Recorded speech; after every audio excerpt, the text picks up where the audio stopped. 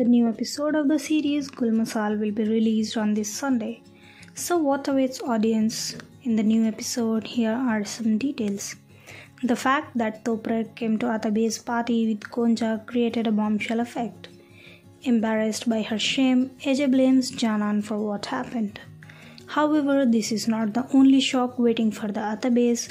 Fuad Demirci, who cornered them commercially, finally confronts Halil and Rifat. Moreover, Fuad also has a lot of information about the past of Gulumsar and Mehmet. This confrontation exacerbates Halil's nightmares. Fuad, who openly challenges the Atabeys, has only just begun.